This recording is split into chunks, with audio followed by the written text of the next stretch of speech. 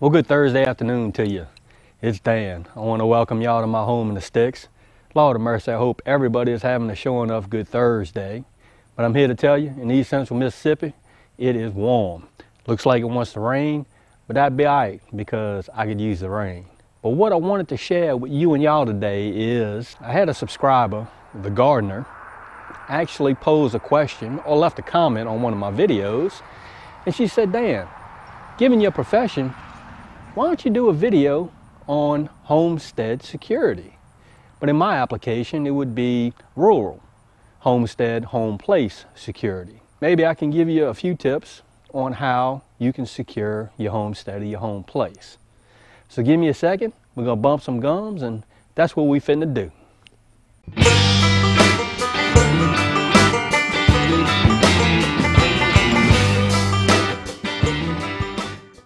Right, you and y'all, here we go. We're gonna kick it off like this. I think the utmost important thing that a home place owner, a homestead owner, or a homesteader should really take into consideration is preventative measures, especially around the homestead or the home place. Preventative measures. If you have uh, things on your homestead that you leave out, and granted, it's your homestead, it's your property. If you want to leave it out, by all rights, you can leave it out. But what I have noticed is, and I have a few friends um, here in East Central Mississippi that had some problems with uh, security on their home places. And they was like, Dan, what do you think about this? So I took a look, you know, at a few things and all they were were just my opinions and I just relayed my opinions to them and for some reason it, it seemed to work. But I have uh, quite a few friends and myself, we have expensive uh, lawnmowers. And when I say expensive, I'm talking a 13, 14, 15, sometimes a $20,000 zero turn mower that you just, uh, you cut grass. And a lot of times I've seen folks, they just leave it out in one of their pastures whenever they get finished cutting grass and the next day they just jump on it and keep cutting grass. But that expensive mower is sitting out in a pasture for everybody to see. Uh, criminals, they, they actually look, you know, they'll ride up and down. You know, if there's a, a place that they, they potentially want to target to uh, actually maybe steal some stuff from, they see that. Once they see that, well, what else is on this uh, home place, a homestead that I could steal? So it's preventative measures. If you have expensive things, heck, hold on to them, put them up, or park them, put them in a place where nobody can actually see them. And that goes the same thing. There's my mule over there. I leave it parked uh, up underneath my, my lean-to on my shop. I don't never leave the key in it, but my place is situated as to where you cannot see pretty much anything from the road. You actually have to come down my driveway to see anything that I have here at my near my shop. It's a it's an actively aggressive way to limit what folks see on your homestead or your home place. And I guarantee you, uh, criminals, they do their research. They really do. They, uh, from what I understand, some of these criminals use uh, like Google Earth and Google Maps to take aerial views, aerial views of people's home places or homesteads, so they can see pretty much the layout of what your homestead looks like. So they're trying to get the advantage on you. And I know it's true because I've heard I've heard of that being done and it's a possibility. So it's imperative that you don't give uh, the would-be criminal any leverage. Secure your stuff. Always in the military, secure your you know what. Another thing to point out is on your homestead or your home place, I have a lot of rocks and stuff that I have sitting around. I use these for gardening, things of that nature, and I just leave them sitting around. But look what I have right there, a window. The would-be criminal to show enough take one of these rocks and bust that window out, and nobody would actually hear it because I live in rural east central Mississippi. Maybe my neighbor across the street might hear it if she was home. So that's something to take into consideration. Don't leave things laying out that could possibly be used to gain entry into your to your homestead or any out structures or buildings that you have on your property. Same thing with ladders. Got to secure those ladders. What I don't want to do is I don't want to I don't want to help out the criminal. Uh, I want to make it as hard as possible for anybody to try to potentially breach my my homestead or my home place and the security measures that I have in place. Oftentimes you'll hear the phrase or the saying, in order to catch a criminal, you have to think like a criminal. And sometimes that is a good mindset to try to get uh, into your brain. And it's not hard for me because I deal with criminals on a daily basis. Certainly something for the homesteader, the home place owner to think about. Walk around your home place and just, just look. Try to think to yourself, okay, if I wanted to break into this shop right here, what could I use that is here, already on this, uh, this home place, what could I use to actually get into that shop? So that's uh, just something that you need, that I think everybody needs to think about. And it is a sad truth, and it's just, it is what it is. There are folks out there that will actually breach your home place or your homestead and try to steal from you. It's just the truth, but it is what it is.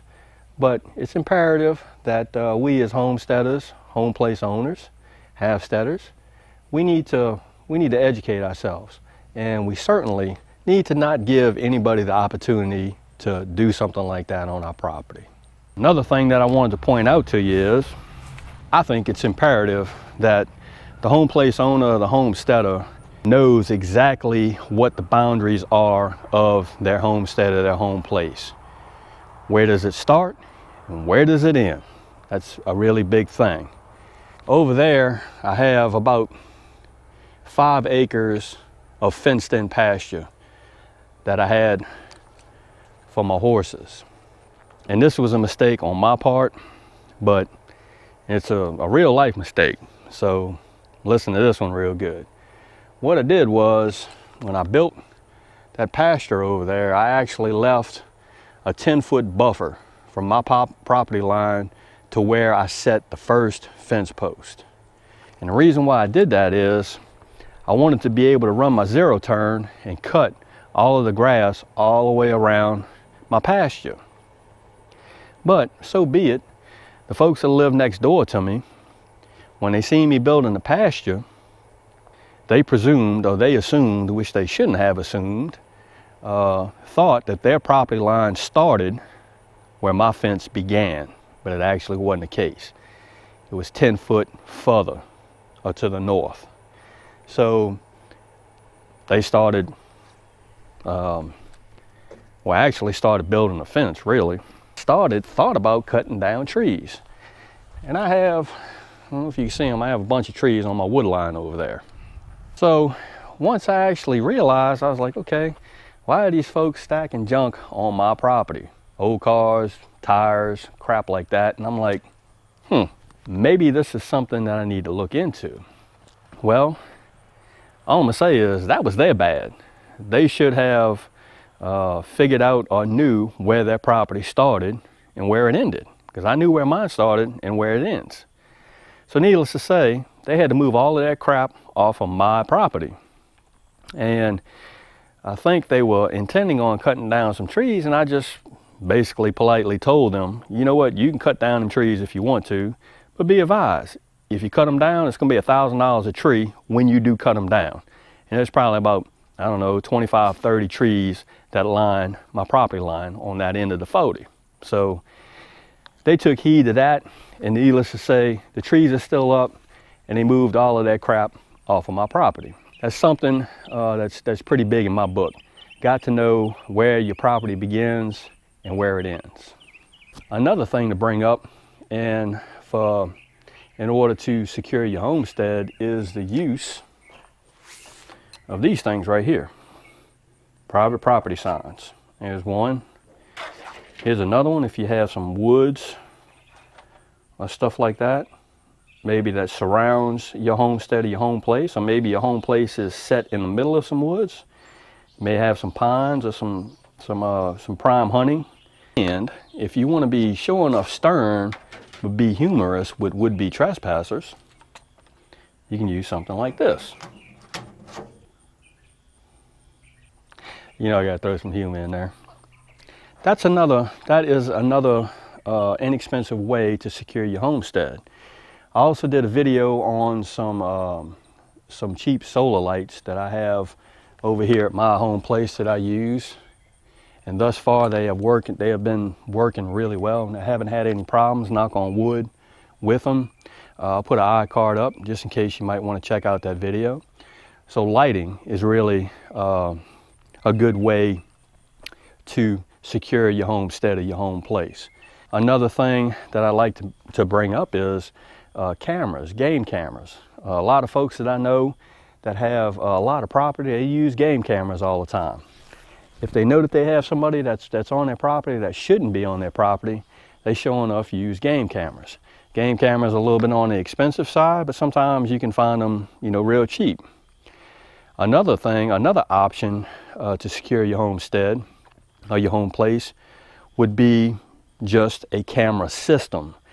That in itself is uh, on, the, in my opinion, because I've looked at them, it, it's on the expensive side. I, I don't have, you know, a thousand dollars to fork out on, you know, some infrared cameras to uh, put all around my place. And thankfully, I haven't had any problems with uh, any breaches over here uh, at my home in the sticks. Knock on wood again. If you, you do have the means and you are capable to use to, to buy a security system for your, for your homestead or your home place, uh, it's pretty important, I think in my opinion, that you have uh, a means to store that video, be it an external drive or whatever it is that you are going to store that information or that video on, just in case you may need to use it if you have somebody that uh, came onto your property and, and possibly stole something. But what I'm going to tell you is uh, external drives got real cheap. You can get a terabyte drive, uh, external hard drive from the Walmart for like 90 bucks. So that's cheap. It wasn't, what is, it, it isn't like it was back in the day. Um, external hard drives were like expensive, but not no more. So if you go that route, you need to make dang sure that you have something that you can store all of that information on safely, just in case you need to use it. This video is going to be a little bit longer than what my normal videos are, but given uh, my profession, I, I thought it was a good idea to actually do a video like this just to maybe help somebody else that may may be having some problems with people coming on to their homestead or their home place. And it's just a, a few tips that you could possibly use to actually secure your homestead or your home place. Another thing that I, I, I didn't put in there or I didn't say, which is very effective, and that is gates. See that red gate right there? Gates are, real, are really effective, especially if you have a gate that has no trespassing sign on the gate and they still come onto your property, then yeah, that's, that's gonna be some issues. Not gonna rule out uh, a 12 gauge shotgun or, or some type of sidearm. Can't rule that out either. Those two things could uh, definitely be used on a home place. Good thing, you know, good thing to have on a home place at a homestead. That is gonna be the video for today. Uh, the gardener thank you for, for commenting on one of my videos and bringing that up because it was a really good idea to do a video such as this. I hope everybody is having a Show Enough Good Thursday. It's almost that weekend. If you like this video, go on and give it a thumbs up. They help. If you haven't subscribed to the Home Six channel, Lord of mercy, y'all need to come on over, give me a look, because I'm always doing stuff. Really? With that being said, you know what's coming. Dan Referee Show Enough, always gonna say it. Don't let nobody dull your shine. And I mean nobody. You're going to secure your homestead or your home place. And we will see you and y'all in the next video.